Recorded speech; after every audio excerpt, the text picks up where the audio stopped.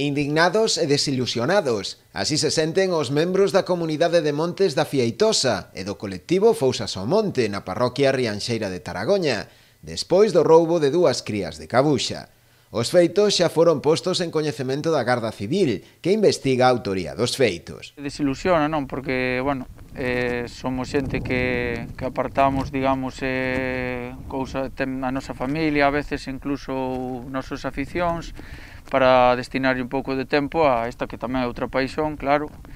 E desilusiona un pouco cando das un paso atrás, neste sentido que ves que, que a xente non respeta un traballo que, que o que faz é para o ben de todos, para o monte comunal que é de todos, vamos. Os animais están destinados á limpeza de diversas zonas de monte que ten a comunidade. Por iso alertan de que non están tratados para o consumo humano. Porque nós tratámolos, desparasitámolas, pero con, non, non temos en visión de que ese animal sirva para a alimentación, senón nós témolo para, para ese tipo de mantementos. E, bueno, a xente que os levou, pois non sei a que os vai destinar, pero o consumo pois non sería boa idea. Pero non só iso, os animais forman parte dun ambicioso proxecto no que levan traballando dende hai tempo, no que hai implicada moita xente da parroquia, dende maiores a cativos, que busca, entre outros aspectos, a diversificación dos usos do monte e tamén o seu coidado. E tratar de que a xente pois que veña ao monte, que use, que o respete, que o vexa como algo seu, algo funcional, algo paisaxístico,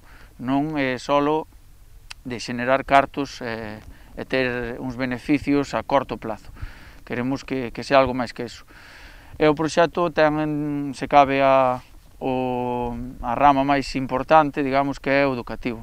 Nós estamos pegados ao Colexio Obrea Segade, co que interactuamos eh, eh, a menudo en traballos eh, medioambientais. Coa denuncia pretenden facer unha chamada de atención. Non é simplemente o feito do roubo en sí, senón o que iso simboliza. Esta xente que fai este tipo de cousas, pois eh, non vai entender de valores, que son os que nós, desde a comunidade de Montes, desde Fousas ao Monte, é o que queremos eh, implicar a, a veciñanza.